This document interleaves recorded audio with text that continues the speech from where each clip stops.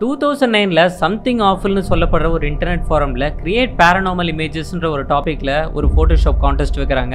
அதில் Eric Knudsen two black and white இமேஜஸை அந்த ஃபாரமில் share பண்ணுறாரு அந்த ஃபோட்டோகிராஃப்ஸில் உயரமான ஒரு உருவம் சூட் ட்ரெஸ்ஸோட ஒரு ஃபேஸ்லெஸ் உருவத்தோட இருக்கு. அந்த கேரக்டரை ஸ்லெண்டர் மேன்னு சொல்கிறாரு இந்த வீடியோவில் ஸ்லெண்டர் மேன்னு சொல்லப்படுற அந்த ஹாரர் டாப்பிக்கை பற்றி டீட்டெயில்டாக பார்ப்போம். வாங்க வீடியோக்குள்ளே போகலாம்.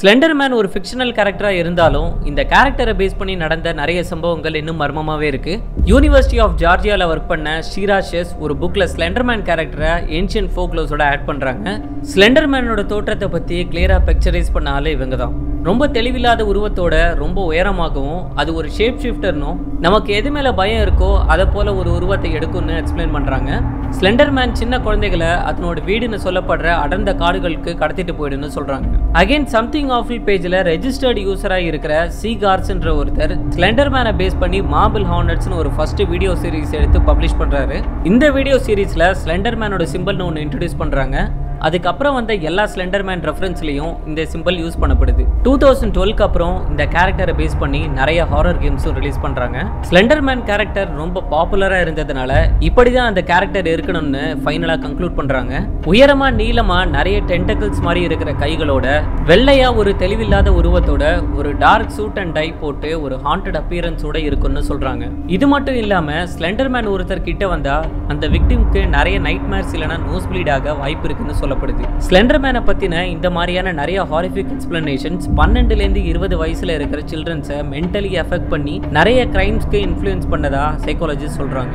இதனாலேயே ஸ்லெண்டர் மேன் மர்டர்ஸ்னு நிறைய கிரைம்ஸ் ரிஜிஸ்டர் ஆயிருக்கு. Thirty first May two thousand ஃபோர்டீனில் வாக்குஷான யூஎஸ்ல இருக்கிற இடத்துல ரெண்டு பன்னெண்டு வயசு பெண்கள் Anissa Weier and Morgan Geyser அவங்க கிளாஸ்மேட்டான பேட்டன் லூட்னரை ஒரு காட்டு பகுதிக்கு கூட்டிட்டு போயிட்டு பன்னெண்டு தடவை குத்தி கொலை பண்ண ட்ரை பண்ணிருக்காங்க. அவங்கள இன்வெஸ்டிகேட் பண்றப்ப அந்த ரெண்டு பெண்களும் ஆன்லைன்ல ஸ்லெண்டர் மேன் படிச்சிருக்காங்கன்னு தெரிய வருது. ஸ்லெண்டர் மேனோட ஹெல்ப் வேணும்னா அவங்க ஒருத்தரை கொலை செய்யணும்னு போட்டிருக்கிறதா சொல்றாங்க. அது மட்டும் இல்லாமல் ஒரு கொலை செய்யணும்னு ஒரு பிளெஜ் எடுத்துக்கிட்டு அது செய்யாமல் விட்டுட்டோம்னா அவங்களோட ஃபேமிலியில் இருக்கிறவங்கள எல்லாரையும் ஸ்லெண்டர் மேன் சொல்கிறாங்க அவங்க கொலை செய்ய ட்ரை பண்ண பேட்டன் லூட்னர் கஷ்டப்பட்டு அவங்க பக்கத்தில் இருக்கிற ரோட்வேக்கு வந்துடுறாங்க. அந்த வழியா போன ஒருத்தர் அவங்கள கரெக்டான டைமுக்கு ஹாஸ்பிட்டல் அட்மிட் பண்ணதுனால அவங்க உயிர் பிழைக்கிறாங்க. ஆனிசான் மோர்கன் ரெண்டு பேருக்கும் மென்டல் இல்னஸ் இருக்குன்னு டயக்னோஸ் பண்ணது மட்டும் இல்லாமல் இல்லாமல் சிக்ஸ்டி ஃபைவ் இயர்ஸ் பிரிசன்னு கோர்ட் ஜட்ஜ்மெண்ட் வருது. ஃபோர்த் ஜூன் டூ தௌசண்ட் ஃபோர்டீனில் எரிக் நட்சன் இந்த கொலை சம்பவத்தால் அஃபெக்ட் ஆன அந்த ஃபேமிலிக்கு ஆழ்ந்த அனுதாபங்களை தெரிவிக்கிறாரு. அது மட்டும் இல்லாமல் இது சம்மந்தமாக அவர் எந்த இன்டர்வியூவும் கொடுக்க ரெடி இல்லைன்னு சொல்கிறாரு twenty first December two thousand ஃபிஃப்டீன்ல Anissa வைசருக்கு ஹாஸ்பிட்டல் தெரப்பியில் டுவெண்ட்டி ஃபைவ் இயர்ஸ் இருக்கணும்னு தீர்ப்பு வருது. ஃபர்ஸ்ட் பிப்ரவரி டூ தௌசண்ட் எயிட்டீன்ல மார்கன் கேசருக்கு ஃபார்ட்டி இயர்ஸ் வெஸ்கான்சன் மென்டல் ஹாஸ்பிட்டலில் இருக்கணும்னு தீர்ப்பு கொடுக்கப்படுது. ஸ்லெண்டர்மேன் ரிலேட்டடான இந்த கேஸ் யூஎஸில் பயங்கர பேனிக்கை கிரியேட் பண்ண கேஸ்னு சொல்றாங்க. அதை தொடர்ந்து ஜூன் ஃபோர்டீன்ல டபிள்யூஎல் டபிள்யூடி டிவியில் ஓஹியோவை சேர்ந்த ஒரு பெண் அவங்க பதிமூணு வயசு டாட்டர் ஆன்லைன்ல கிடைச்ச சில ஸ்லெண்டர்மேன் டீட்டெயில்ஸை வச்சு ஒரு கொடூரமான ஸ்டோரி எழுதியிருக்கிறதாகவும் அதில் வந்து சில ஸ்லெண்டர்மேன் இன்சிடென்ட்ஸை வச்சு அவங்கள தாக்குனதாகவும் அந்த டிவியில் சொல்கிறாங்க ஃபோர்த்து செப்டம்பர் டூ தௌசண்ட் ஃபோர்டீனில் ஃப்ளாரிடாவை சேர்ந்த பதினாலு வயசு பெண் அவங்க அம்மாவும் ஒன்பது வயதான அவங்க தம்பியும் வீட்டில் இருக்கும்போதே அவங்க வீட்டுக்கு தீ வச்சதாக சொல்கிறாங்க அவங்கள இன்வெஸ்டிகேட் பண்ணுறப்போ அவங்க ஸ்லெண்டர் மேனை பற்றி ஆன்லைனில் நிறைய படித்து அதை காண்டாக்ட் பண்ணுற முயற்சியாக இந்த சம்பவத்தை பண்ணியிருக்காங்கன்னு தெரிய வருது. இது மாதிரியான நிறைய ஸ்லெண்டர் மேன் ரிலேட்டடான ஹாரிஃபிக் கேசஸ் யூஎஸ்ல நிறைய ரிப்போர்ட் பண்ணப்பட்டிருக்கு.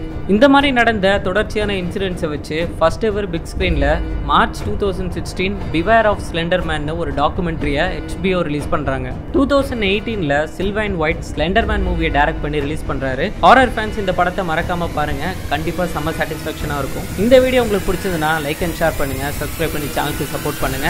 அடுத்த ஒரு மிரட்டலான இன்சிடென்ட்டில் பார்க்குற வரைக்கும் ஃப்ரம் ட்ரெண்டி தகவல் சனிங் ஆஃப்